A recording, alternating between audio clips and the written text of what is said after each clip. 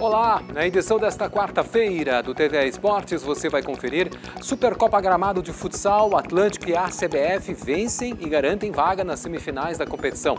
Larissa Rodrigues é ouro no Meeting Paralímpico de Natação em Curitiba. E a gente conversa com o organizador do circuito BT Beach Tênis, que começa logo mais em Viamão. Além disso, o governo do estado abre inscrições para a Bolsa Atleta TVE Esportes está começando.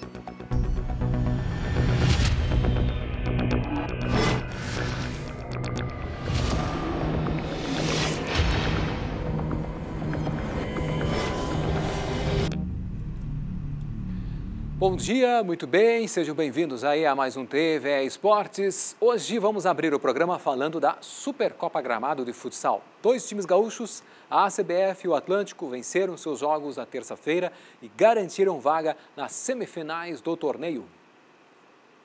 Teve muita bola na rede na segunda rodada da competição ontem no ginásio Perinão.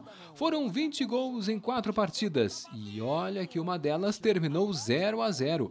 O principal duelo do dia só podia ser o clássico gaúcho entre Atlântico e Açoeva, válido pelo grupo B. No final dos 40 minutos, vitória do Galo de Erechim por 4 a 2 e lugar garantido nas semifinais. Conseguimos a vitória, feliz mais uma vez pelo gol, pelas assistências, por fazer um bom jogo, mas ainda, como eu falo, o grupo está de parabéns. Né? A vitória que foi muito importante, agora é descansar para selar amanhã a classificação em primeiro ou em segundo. Já o time de Venâncio Aires, com a segunda derrota no torneio, não tem mais chances de classificação. A terça-feira também foi generosa para a ACBF. No confronto que valia a liderança da chave A, a laranja de Carlos Barbosa levou a melhor. Triunfo por 4 a 2 sobre o Joinville e mais uma equipe com vaga certa nas semifinais, com uma rodada de antecedência. A gente conseguiu aproveitar a chance, fazer dois gols ali. Suportamos bem a pressão deles, que é uma equipe, como eu falei, de muita qualidade, e conseguimos sair com a vitória aqui do jogo. Nos outros jogos da segunda rodada, o Campo Mourão do Paraná bateu o Minas Tênis por 5 a 3, enquanto Praia Clube e Santo André ficaram em branco. A primeira fase termina nesta quarta-feira com todos os gaúchos em quadra. A Açoeva pega o Santo André, o Atlântico encara o Praia Clube e a ACBF vai ter pela frente o Campo Mourão. Amanhã é dia de folga no torneio. Na sexta-feira serão disputadas as duas semifinais e, dependendo dos resultados de hoje, pode haver duelo gaúcho. A grande decisão acontece no sábado, às duas horas da tarde. Bom, saindo das quadras aí do futebol de salão, agora para as quadras, para a areia do beach tênis, porque de hoje até domingo acontece no Vila Aventura, em Viamão. Mais uma etapa do circuito BT Sul do Beach Tênis, por isso agora aqui no TV Esportes a gente recebe o Aurélio, Aurélio Melo, que é organizador do evento e também diretor do Departamento de Beach Tênis da Federação Gaúcha de Tênis. Bom, a gente ia conversar com ele, mas tivemos um pequenininho problema aí com o um contato com o Aurélio. Por isso a gente vai falar agora de um atleta do Recreio da Juventude de Caxias do Sul, que conquistou dois ouros e foi no Meeting Paralímpico de Natação. E foi sábado passado, na capital paranaense. Em sua primeira competição na temporada, Larissa Rodrigues venceu as provas dos 100 metros livres e dos 50 metros costa pela classe S3 para atletas com comprometimento físico-motor severo. Além das vitórias, a catarinense, criada no município gaúcho de IP, foi mais rápida que na edição anterior. Na prova mais curta, a campeã brasileira sub-20 do ano passado atingiu a melhor marca de sua carreira, 1 minuto e 9 segundos.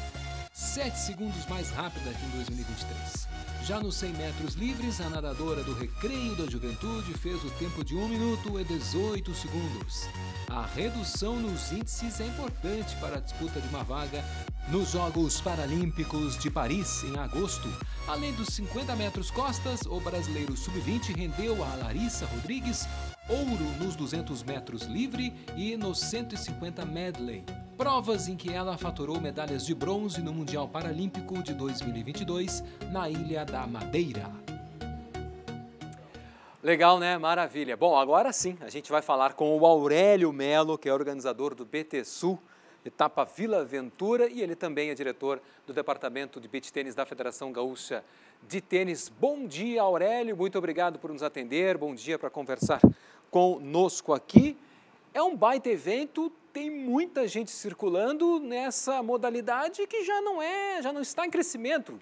Ela já cresceu muito e só tende a crescer. Bom dia, obrigado e mais uma vez.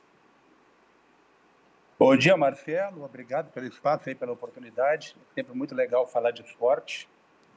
E, e falando de beach tênis, tu colocaste muito bem. O beach tênis hoje é uma realidade.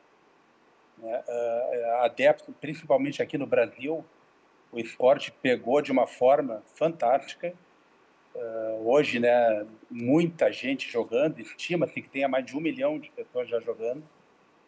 E, e essa, essa turma está direto em torneios, que é o que nós vamos falar aqui hoje, em competições. Né? O, nós estamos aqui hoje aqui no Vila Ventura com, com um evento que vai até domingo e a gente tem um formato de evento que é um evento da ITF, da Federação Internacional de Tênis, portanto uma categoria profissional, e paralelo a isso roda um torneio estadual amador. Eh, nós temos aqui mais de 600 atletas inscritos. Então, tu imagina que festa que não vai acontecer aqui no Vila Ventura. Bom, uh, tu falaste aí, uh, mais de 600 atletas inscritos, quantas quadras... Desculpa, mais, Marcelo, mais de 600 duplas. Duplas? Inscritas. Ah, agora Sim. perfeito. Então é muita gente. Então, mais de mil, vamos é. dizer assim, mais de mil pessoas circulando aí, só pensando em beach tênis. Como é que está a estrutura, né? Falando sobre a estrutura que foi montada para essa, para essa competição, até mesmo para uh, o, o, tanto os amadores, né? Porque os amadores e os, vamos dizer assim, os profissionais, os pró, também estarão circulando tudo, o pessoal tendo esse contato, né? É, até mesmo um bate-papo, por que não, né? Entre amadores e pró, dicas, cada um passando. Fala um pouquinho do que está sendo preparado, como é que está se montada essa estrutura aí em Viamão. É, isso que é muito legal do beach tênis, né? Porque o beach tênis proporciona essa, é, essa turma junto, a turma do profissional com o amador, ela circula no mesmo ambiente do evento, portanto, os atletas amadores têm né, a possibilidade de, de estar com eles Claro que o evento acontece em quadras separadas, mas dentro da mesma estrutura. A gente procura dar a estrutura para o amador, a mesma estrutura que é dada para o profissional. O amador é tratado com muito carinho. E é um evento que nós uh, jogamos aqui em 18 quadras do Vila Aventura. Uh, nós temos toda a estrutura de atendimento. Né? Uh, o torneio oferece água nas quadras, frutas, vários mimos para os jogadores, fisioterapia, Uh, teremos no sábado e domingo transmissão via stream, né, via YouTube. Uh, teremos show, já convido a todos. Teremos uh, no dia 18 dois shows, um violão e voz. E às 19 horas a banda Samba Tri, aqui no Vila Aventura. Então o evento está tá muito bacana, está muito bem montado e realmente com uma estrutura de um evento grandioso. Bacana. Bom, sobre as categorias amadoras, são 34 categorias, com qual será o formato dessas, desses jogos e também a questão dos profissionais, né? Os, os pró que estarão competindo, quem dá para se destacar, vale pontuação do ranking, uh, e qual ranking? Queria que tu falasse um pouquinho sobre isso. Certo, vamos na categoria amadora. A categoria amadora, a gente tem, na verdade, categoria no tu tem simples e tem duplas. E na dupla, tu ainda tem a dupla mista, a dupla masculina, a dupla feminina, tu tem categoria por idade, 12, 14, 40, 50 anos. Então, por isso que dá essa grande quantidade de, de categorias e premiações, tá? É, ele conta a pontuação para o ranking estadual da federação, que leva os jogadores para a Copa das Federações, que é a bola recheada, né? A bolacha recheada do pacote do, hoje do beach tennis, né? Que é um campeonato entre estados que o Rio Grande do Sul é mega campeão. Uh, no torneio profissional, tá, nós, a gente está com jogadores aqui entre os top 30. Temos jogadores, temos o Fabrício Neis, que é o nosso melhor gaúcho ranqueado na ITF, 22 do ranking. Temos o Natan Porte, 31. Está jogando aqui o, Vini, o Felipe Lotti, que é o, primeiro, o número um do mundo juvenil, nosso gaúcho. Tá? Está participando o Vini Fonte, que é ex-número um do mundo. Tá? Então, no masculino está é, tá forte. E temos no feminino também cinco jogadoras entre as 50 do mundo, com uma, uma gaúcha destacada aqui, Isadora Trouxe. Tá? Esse, esses PTs, né, que são profissionais, eles valem para ponto para ITF, né? então segue o ranking mundial. Legal. Bom, sobre a questão do formato dos jogos, uh, como serão as partidas, uh, até mesmo das categorias amadoras uh, e os profissionais, só para a gente entender aí o, quantas partidas no total por dia, aproximadamente no total do evento, e como será o formato dessas partidas em relação a, até o campeonato que vai até domingo, essa competição. Bom, em relação ao número de jogos, eu não calculei, mas eu te garanto, pelos aproximadamente. anteriores, nós teremos mais de 600 jogos aqui, tá? Uh, 600 jogos, é muito jogo. Uh, hoje a gente começou com o BT10, que tá é um BT também da, da ITF, começa e termina no mesmo dia.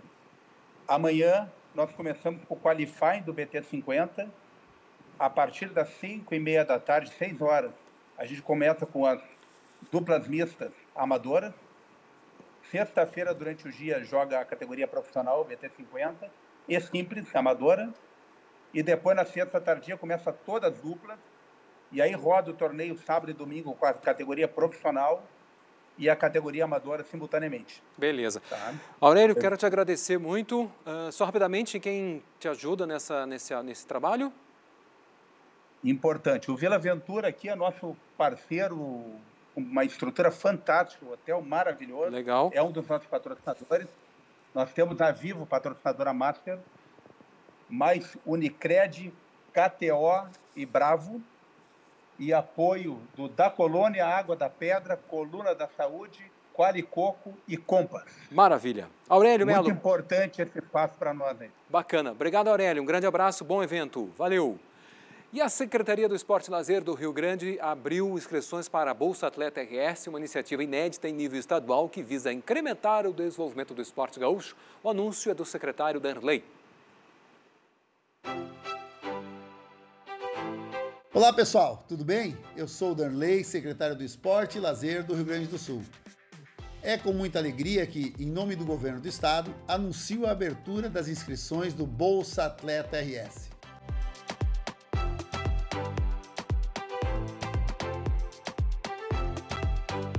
O objetivo é conceder auxílio financeiro para atletas e técnicos e fortalecer ainda mais o esporte gaúcho. Dentro da missão de levar o esporte para todos, o programa vai oferecer 600 bolsas, divididas em três categorias: 300 para o esporte educacional e 300 divididas entre esporte de rendimento, nacional e internacional, e esporte olímpico e paralímpico. Desta forma, 50% das bolsas serão destinadas ao esporte educacional.